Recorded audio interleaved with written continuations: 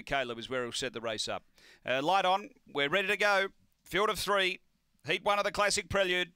$1.20 Victor Caleb.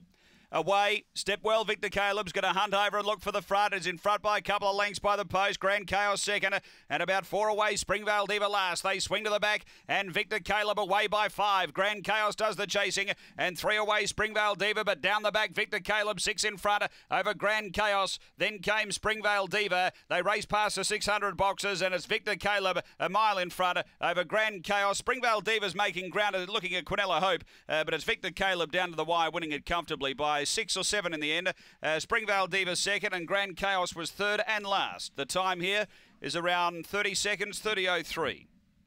After the running of race number three, it is uh, eight, six, and uh, one.